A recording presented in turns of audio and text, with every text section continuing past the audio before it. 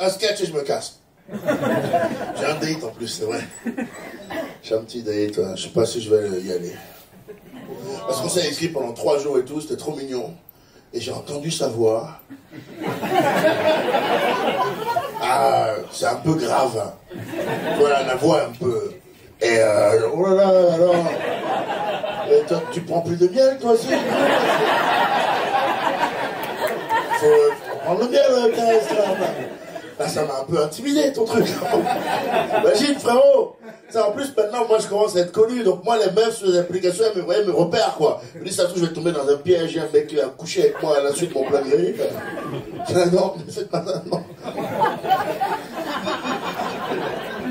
Mes potes, après, c'était comment ton rendez-vous? Je vais pas en parler.